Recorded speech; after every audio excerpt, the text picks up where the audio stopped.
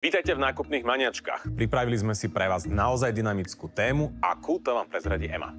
Téma sa nazýva Sporty šik. Toto je priestor preto, aby ste si dali tenisky, tepláky, športové súpravy, možno si dali aj batoh a využili to všetko ležerno, športovo, možno aj trošku elegantné, čo vám väčšinou vo vašich šatníkoch vytýkame. Táto téma podľa mňa vyznie ľahko, ale je podľa mňa veľmi ťažká. Veľmi ťažká sa trafiť e, do presne takého štýlu, aký si stylisti predstavujú. A už teraz sa veľmi tešíme na vaše naozaj športové, ale zároveň šik outfity vo finále. Wow. Ja sa teším. Ja si myslím, že super sme vychytali. Milujem doslova takúto módu. O ja, ja som spokojná s témou veľmi, takže nadmieru.